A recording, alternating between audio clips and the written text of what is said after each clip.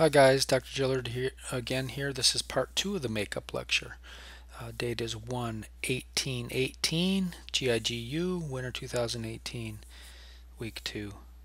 Here we go. Uh, Mallory Weiss tear. What in the world is a Mallory Weiss tear? Let's see what it is. Uh, aka Mallory Weiss syndrome. So it's a cut, it's a laceration of the distal esophagus and it is almost always caused by someone who has chronic and severe vomiting and retching. What's retching? Retching is like the dry heaves. Uh, just there's nothing left to vomit. So alcoholics, right? Typically seen in alcoholics. Because of that, uh, it can cause a severe bleeding uh, sometimes and the bleeding is typically uh, hematemesis or hematinatic so that would be like a bright red blood as opposed to a coffee ground uh, vomit or vomitus as should be say, said there vomitus and it's it can be seen in patients with a concomitant hiatal hernia. What's that mean? There's another vocabulary word concomitant uh, that means in addition to, so in addition to having this tear, you also have a hiatal hernia. The tear can also, especially in patients with these hiatal hernias, it can not only rip the distal esophagus, it can rip all the way down into the stomach. So you can imagine it can cause quite a bit of bleeding in these people.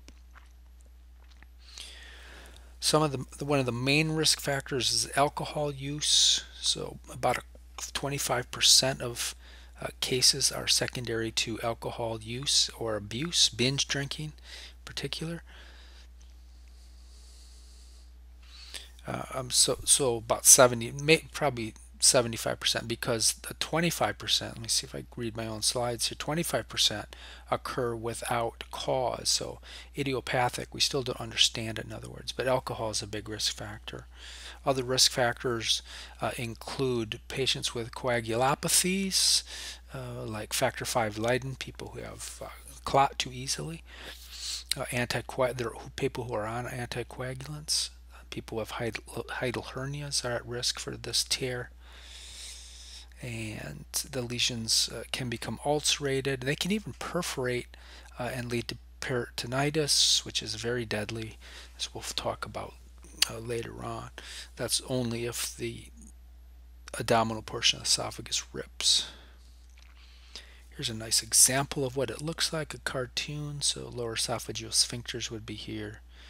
Uh, and there they are. They're small little Mallory Weiss tears.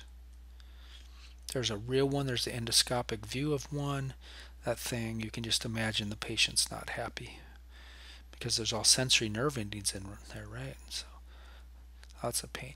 Uh, these can result in hemorrhage, uh, but they usually stop. They usually don't need treatment.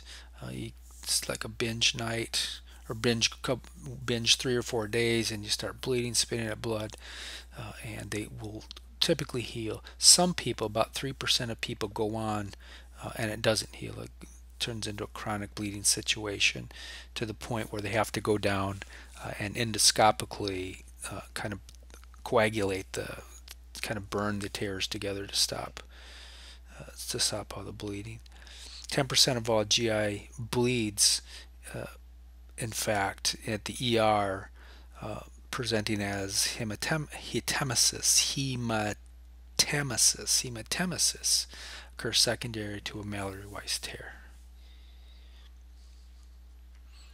Okay, let's go on to this is a big one, Barrett's esophagus. Okay, uh, we'll do some physiology real quickly because this should all be review for you.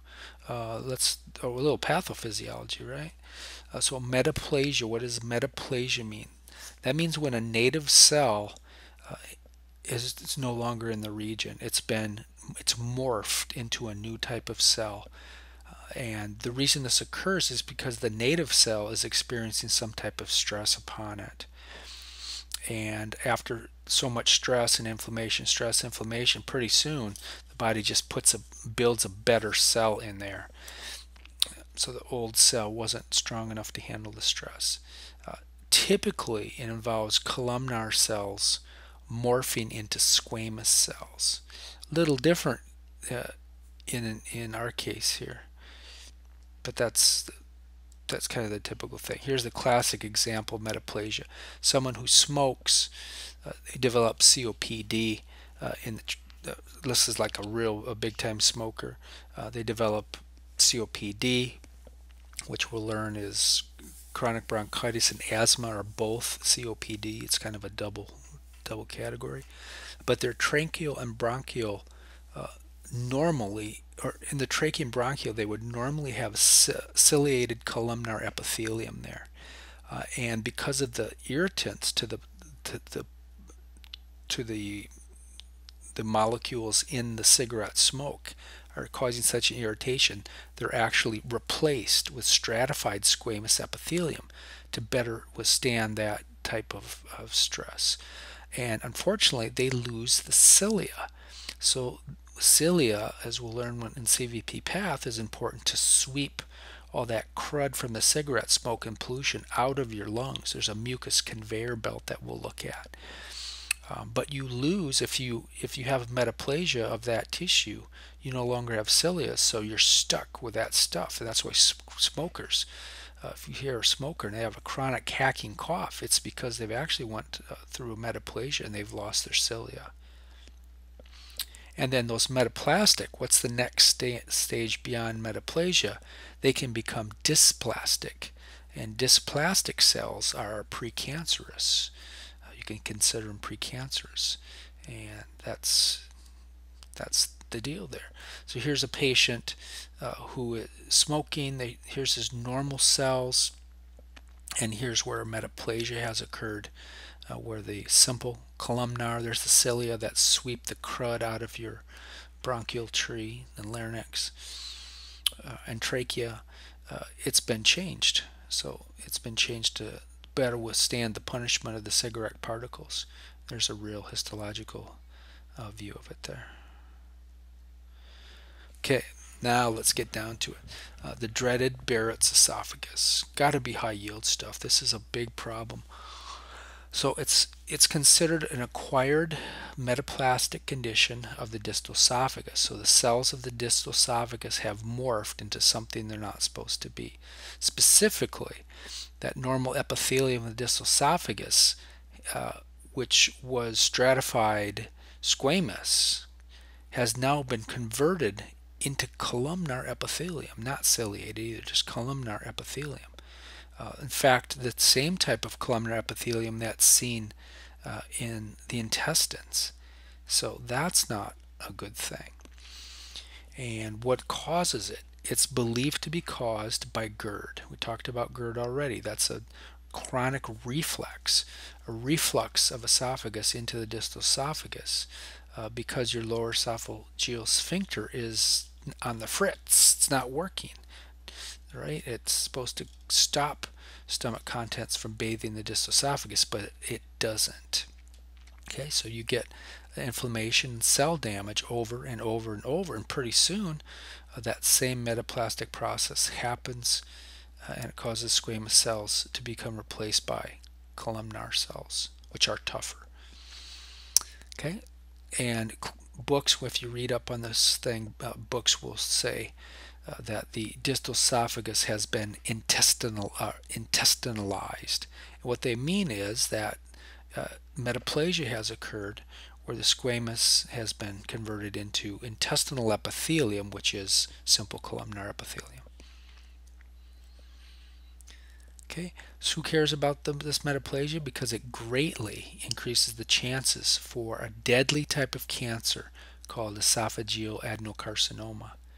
Uh, and when I I'm it doesn't like increase it by one two fold, or three or four fold. it increases it by 40 fold up to 50 fold according to uh, the, the text in the Mayo Clinic that I have. Uh, so it's a it's it's not a good thing. It has to be watched if you get a Barrett's esophagus. Biopsy makes the diagnosis. Go in there take a piece of it and see. We'll talk a little bit more about that. Uh, but the presence of in the in the intestine, not only there columnar cells, but there's also goblet cells between the the columnar cells. Uh, those are not supposed to be in the esophagus. So if you see goblet cells and columnar cells, uh, you have just got yourself a diagnosis of Barrett's esophagus. Okay, here's a cartoon of it. Uh, so patient with GERD here, uh, but now he's got a metaplasia. We got uh, the stomach's also columnar epithelium, right? It doesn't have mucus cells or doesn't have goblet cells like that. Um, but uh, so this is just showing it. And the gastroesophageal junction or the Z line would be right. Uh, normally would be here. So normally this is the meeting of the columnar epithelium of the stomach with the simple squamous, simple stratified squamous, I should say, or stratified squamous, not simple squamous, stratified squamous, just like your skin. That's where this meets. And you can see that this line is extended uh, much above the normal gastroesophageal junction. We have slides on this too. I think they call this the squamocolumnar junction as well. Better not get ahead of my slides though. Here's an endoscopic view uh, of this and you can see it doesn't look pretty like that one we saw. It's all lumpy bumpy. Uh, this this is all, uh, it's very easy to tell the difference between stratified squamous which is this pink and smooth, pretty looking stuff. And columnar is stains deeper or presents deeper red in endoscope, endoscopy. Um, so the, all this red stuff, that's all uh, metaplastic disease. That's all intest, uh, simple squam or simple columnar cells.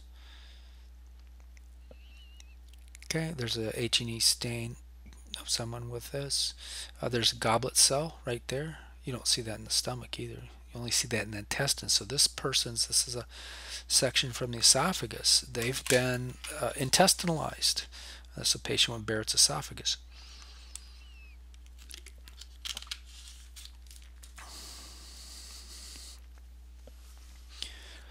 Uh, some anatomy, recall the connection between the esophagus and the stomach is called the gastroesophageal junction. Sometimes they say it backwards, esophagus esophagogastric junction I've heard, but usually gastro in this country anyway, gastroesophageal junction.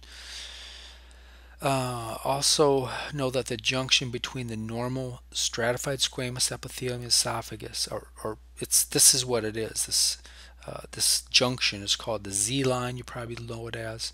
Um, that's also called the squamocolumnar junctions, AK. Uh, normally, that's right by the lower esophageal sphincters. Moving on up. So Barrett's and Barrett's esophagus. You guys probably don't remember that. The Jeffersons, remember that one? Uh, they don't think they replay that anymore. You called everybody a jive turkey. The 70s thing here.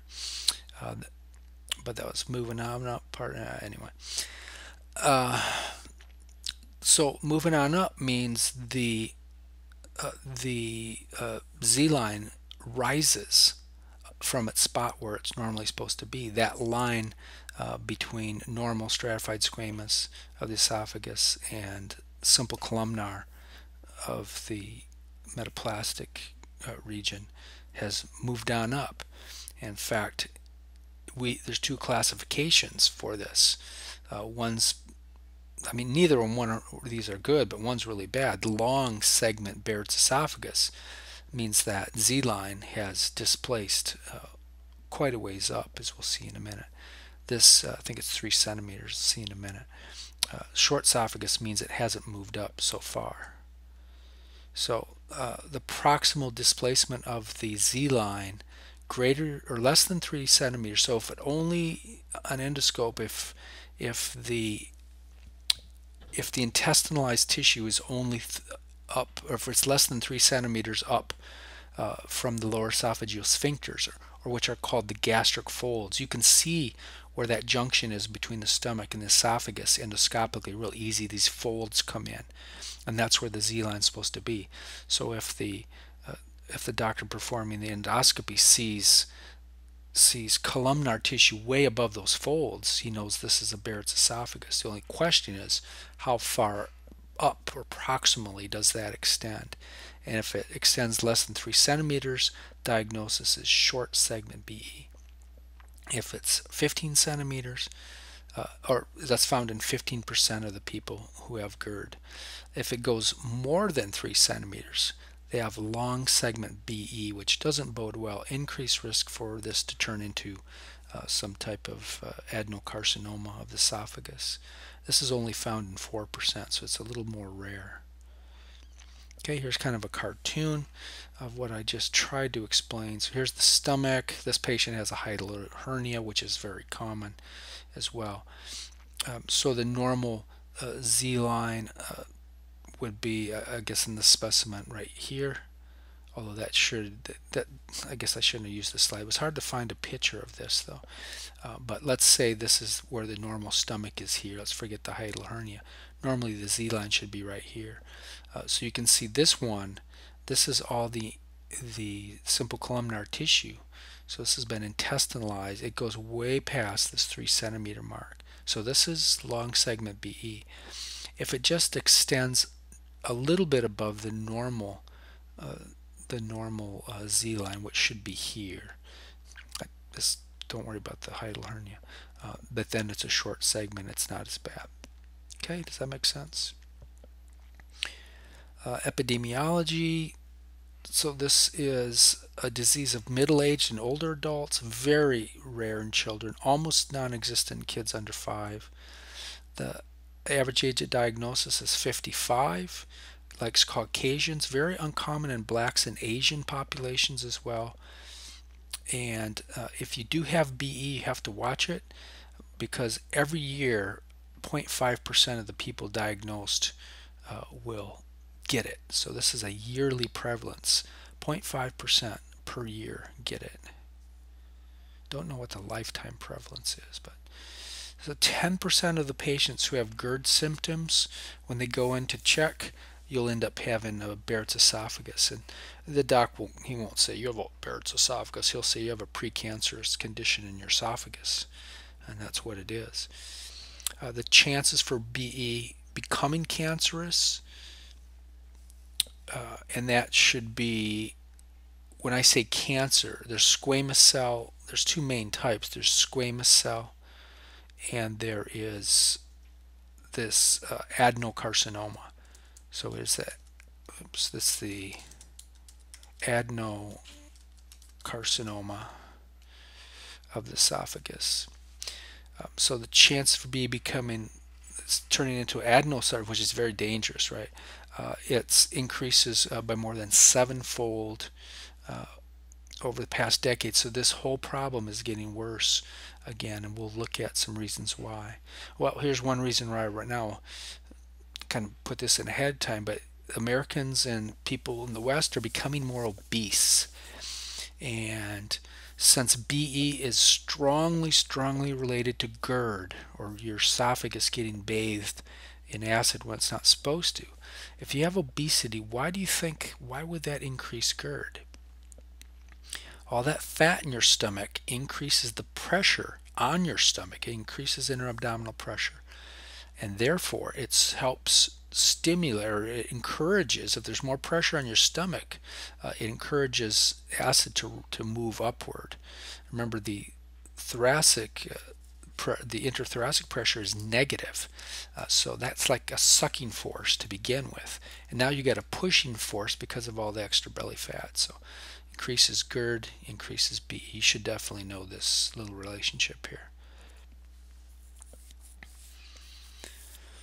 Uh, I think everything I just said, right? Obesity increases, blah, blah, blah, blah, blah, blah, blah, blah, blah. Central obesity seems to be even worse. Some people, especially guys, they get fat, they get the beer belly. That's even worse. It increases abdominal pressure even more. Some other associations. Uh, typically, patients have a long battle uh, with uh, acid exposure. So they've had GERD, they've been on PPIs a long time, is typical. Uh, large hiatal hernias increase the chances. Uh, decreased pressure, so if their lower esophageal sphincter isn't working good, uh, that's a risk factor for the development. That means it's going to be getting bathed. Uh, motility problems, problems with peristalsis uh, can also increase the chances. and uh, decreased esophageal sensitivity reflex. Some patients get surprised when they get the diagnosis and they say, geez, I really don't have much problem. And some don't have any pain at all, yet they end up getting a precancerous esophagus. And just like I said, asymptomatic, approximately a third, 30% of BE patients have very few symptoms or the uh, if they do the proton pump inhibitors they're on have made them almost asymptomatic so it can be a little tricky sometime uh, epidemiology here's a Swiss study a thousand random people just underwent endoscopic examination and 1.5% of the general population ended up having a Barrett's esophagus that should be asymptomatic so most of them were symptomatic. 2% were, were symptomatic, 1.8%. It's pretty pretty close, about 50-50. So bottom line is you don't have to have symptoms to have a Barrett's esophagus. Here's a Minnesota autopsy study. I think this came from, uh, this is Mayo Clinic's book.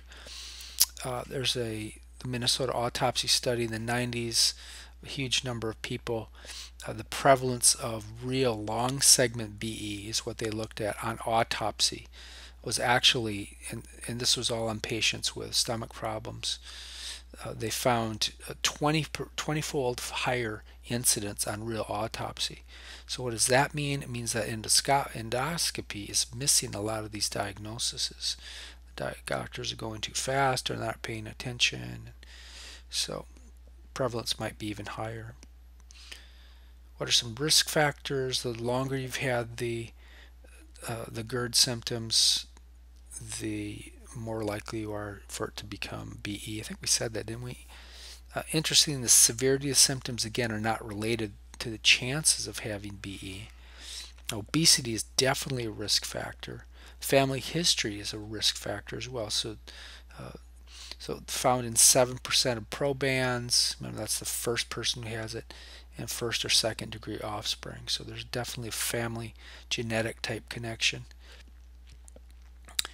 I wonder if I, this is getting long. I didn't want to make these long. Uh, making the diagnosis. Uh, to make the diagnosis, you need two things. So on endos endoscopy has has to be done to make the diagnosis. Uh, so you need to do the biopsy. Uh, and first of all, you need to be able to see the this, like I showed you, it's very easy to see the presence of columnar epithelium, which is extending above the lower esophageal sphincter. And then number two is goes to the histologist uh, or the pathologist, and you have to uh, you have to show evidence of columnar epithelium, but it must be evidence that it's hyperplastic. In other words, it has to have goblet cells in it. So this type of metaplasia has been called an intestinal metaplasia or, or specialized intestinal metaplasia or in specialized columnar epithelium. I like intestinal epithelium because stomach is columnar epithelium but doesn't have goblet cells. It has to have goblet cells. Uh, the management's very similar to GERD, so antacids uh, and aggressive antacids to get it under control um, proton pump inhibitors, H2 blockers we talked about, so the whole nine yards there. Uh, fundoplication is not, they made a big deal about this, several of the texts I've read.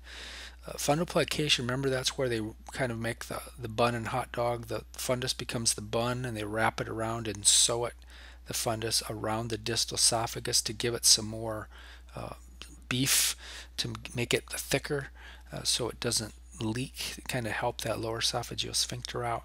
It's not recommended if you have Barrett's esophagus, don't run out and get a fundoplication.